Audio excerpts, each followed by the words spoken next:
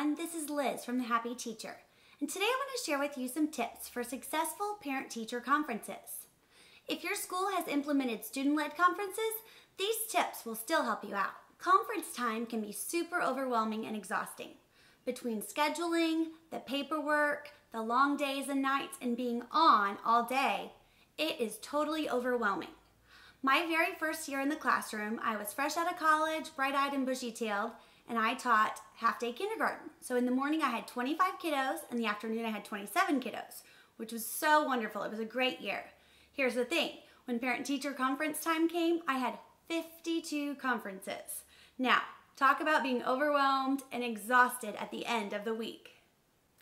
These six tips I'm going to share today will help you have productive and positive parent-teacher conferences. My first tip is to use the sandwich method. You're going to want to start out the parent-teacher conference by talking about a positive about the child. You want to praise the child, tell the mom and dad a positive or a funny story about the kiddo, something that you really love about the child.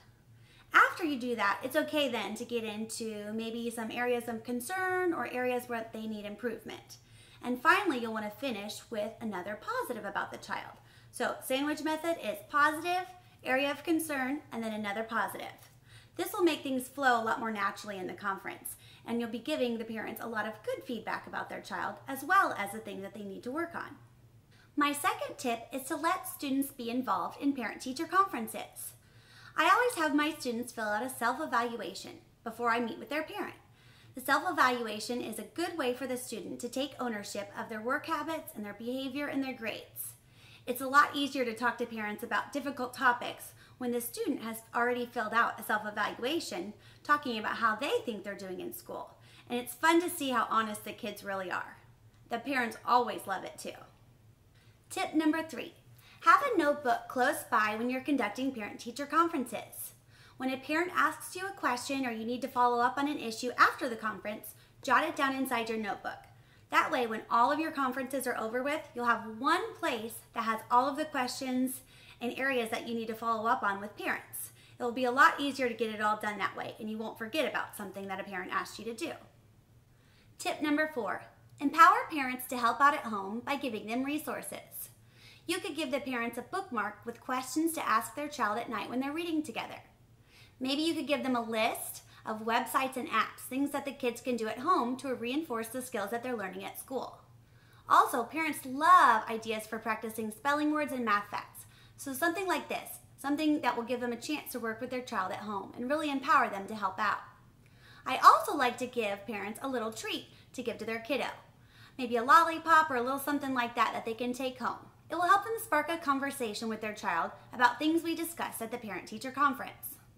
Tip number five, have a note card close by with a list of topics that you can talk about with parents if you get in a bind. In my experience, some conferences flow very naturally and time goes so quickly. Others can be a little bit more challenging. So if you have a note card with a list of topics, it will give you something to discuss with parents if you get stuck. Some examples are maybe upcoming field trips, school events that are coming up, if you need volunteers for an activity, maybe even good library books to check out with their child. Um, another suggestion would be to show students work samples and talk about upcoming research projects or portfolios.